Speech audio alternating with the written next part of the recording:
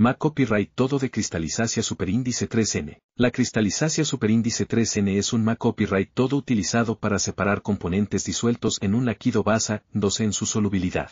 Se realiza al permitir que los componentes se cristalicen gradualmente mediante una lenta evaporacia superíndice 3N del líquido o una disminucia superíndice 3N de la temperatura. Este proceso se lleva a cabo en un recipiente llamado cristalizador.